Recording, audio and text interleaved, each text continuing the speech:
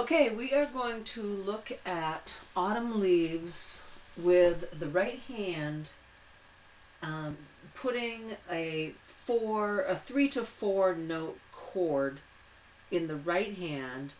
And what we're going to do, this is called, um, you know, like chord melody. You're going to have the top note of your chord is going to be an important note in the melody.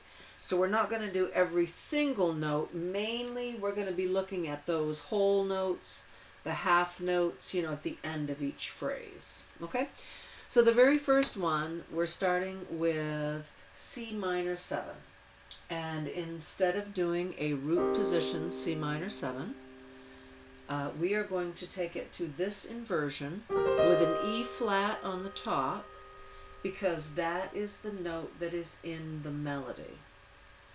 So there we have C minor 7. The next chord is F7, so hey, guess what? The top two notes are the same. The bottom two notes drop down, so you're doing an F dominant in root position. So let's do that again. So it's C minor 7, and then F dominant.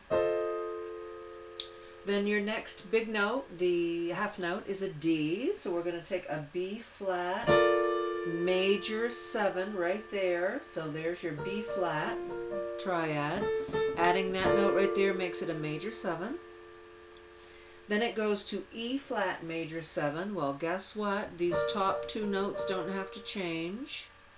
You can just lower the bottom two and now you have E flat major 7 in root position. Alright, the next chord is A minor 7 flat 5, and the top note is a C, so I'm on the second line. So building an A minor 7 flat 5 with a C on the top looks like that. There's the flat 5, here's the 7, here's the 1, here's the 3. The next chord is D7. Guess what? The top two notes are already being played. You just have to drop the bottom two notes to a D and an F sharp and you have a D dominant in a root position. And then the next chord is G minor right here. So D is the bottom note, B flat is the top. Alright, so we are going to run that again. It's the same thing. Actually, the next two lines are exactly the same, so I'll go a little quicker. So it's C minor 7, F7, B flat major 7, bottom two notes stay the same, E flat major, top two notes stay the same, A minor 7, flat 5, bottom two notes stay the same, D7, top two notes stay the same, and finishing with a G minor. That is the A section. Now let's move on to the B section. We want an A on the top since you went away. So we're going to put that A on the top. And then you're going to build your chord underneath it which is going to look like that. So you got your A, here's the 7, there's the flat 5, there's the minor third. So the next chord is D dominant. You're going to just move those two middle notes so you still have an A on the top, C is on the bottom, D dominant, the days grow long, long as a B flat, so your G minor is going to look like that. You want the B flat on the top. Next line, soon I'll hear, that's a C, so you're going to make your C minor 7 like this.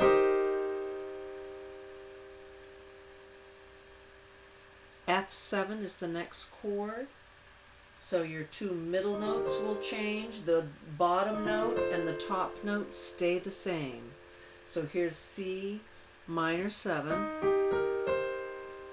and here's F7.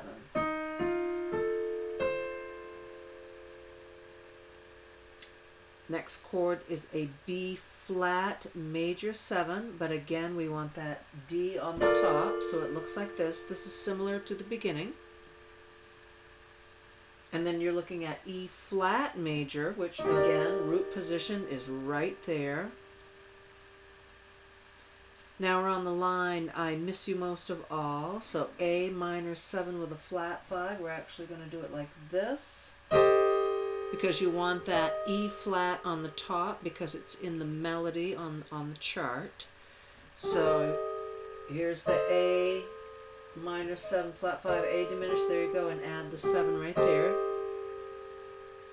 And then it goes to a D dominant and we're going to do right here so a D dominant is F sharp, A, C, and D. And then this next part is a little tricky. It goes kind of, it will eventually go kind of fast. So it's G minor 7. You can actually keep these same notes for a C9 because this is the 5. This is the flat 7 and this is the 9 of C. So G minor and C9 are the same chord. And then F minor 7. We're just going to play that right there. F minor 7. And then we're going to skip that B flat dominant. It comes in really quickly and I don't think it's necessary. So then look at E flat major 7. You're looking at the last line, E flat, e flat major 7. And let's put a C on the top of that just because, again, it's in the melody and that's kind of like what we're trying to do is put the melody note on the top. So it's actually an E flat 6. Uh, you know, so, but for right now, that's what we're going to do. Have a C on the top. The next chord is A minor 7 with a flat 5. Right there. The A is on the top. There's the 7, the flat 5, the 3. And here's the D7 with a sharp 5. So here's the D. There's a D7. Right there, there's the 7. Sharp 5 is right here and then G minor with a G on the top would look like that.